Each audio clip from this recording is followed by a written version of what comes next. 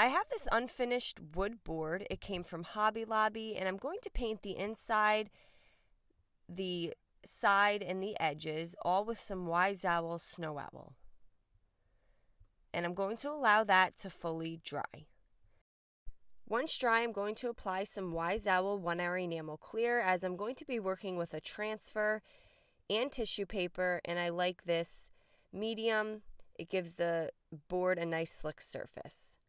So I have my Fall Farm tissue paper. This can be found at chalkitupfancy.com. And I'm going to remove the tractor from the sheet.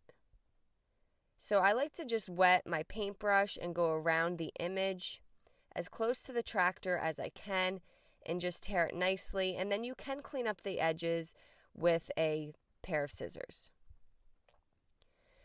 I'm also going to be working with Sunflower Afternoon. It comes with three sheets. This is a transfer that can also be found at chalkitupfancy.com.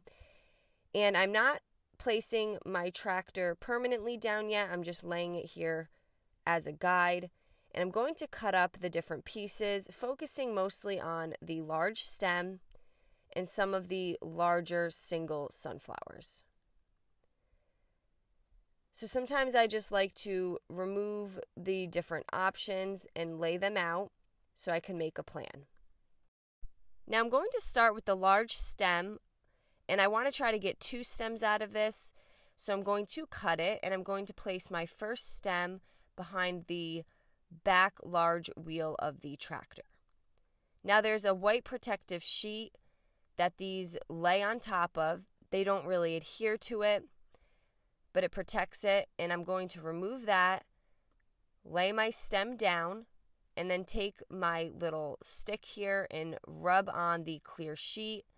And as you rub, your transfer will adhere to your surface, and that clear sheet will then start to lift. Now, it is important that you have a nice slick surface. That's why I did the Wise Owl one hour enamel clear before laying down the transfer. And then I went along and I just randomly placed these smaller sunflowers, and I'm just going to have everything kind of peeking behind the tractor. And then I'll do another big one kind of in the center here. Now, this transfer sheet has a limited amount of leaves, so I did kind of have to mess with this a little bit. And sometimes you just have to get a little creative.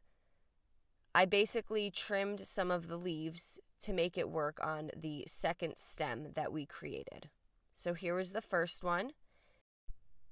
And you just want to slowly lift everything up because if a part of the transfer did not adhere to your surface, then you're just going to keep rubbing.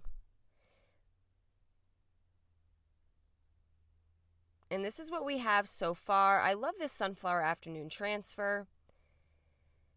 Next, I'm going to take some more Wise Owl 1 Hour Enamel Clear as I'm going to be using this as my decoupage medium. While it's still wet, I'm going to place my tractor in front of all of the sunflowers we had laid down.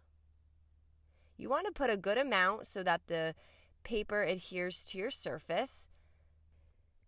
And while that's still wet, I take a piece of saran wrap, I lay it down on my tissue paper and I'm going to be using my brayer and you're just going to rub on the saran wrap. This is going to help release any bubbles and remove the wrinkles. You can remove the saran wrap and then you're going to place another coat of the one hour enamel clear on top of that. And I'm also going to just do the rest of the board so I can seal my transfer as well. And to finish this off, I have this word hello I found from Michaels. I painted it and glued it in the top left corner. I really hope you enjoyed this video. Paint products, tissue paper, transfers, and mesh stencils can all be found on our webpage at chalkitupfancy.com. And don't forget, you can also check out other tutorials over on our webpage. Have a great day.